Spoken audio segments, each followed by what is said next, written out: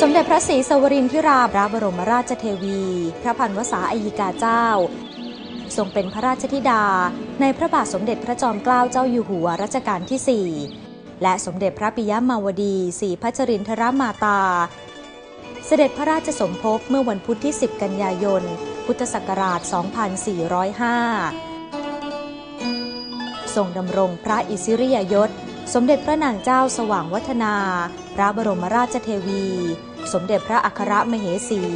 ในพระบาทสมเด็จพระจุลจอมเกล้าเจ้าอยู่หัวรัชกาลที่ 5 ในปีพุทธศักราช 2440 สมเด็จพระนางเจ้าสว่างวัฒนา พระบรมราชเทวี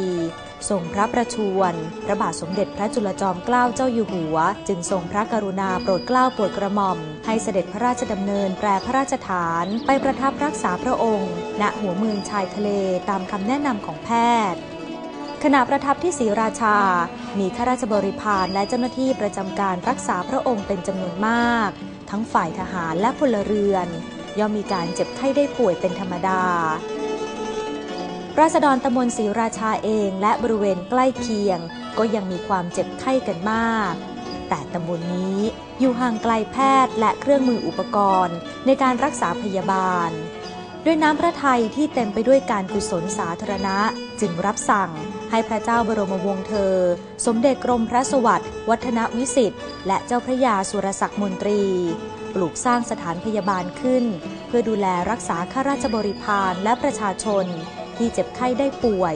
ด้วยพระราชทรัพย์ส่วนพระองค์ขึ้น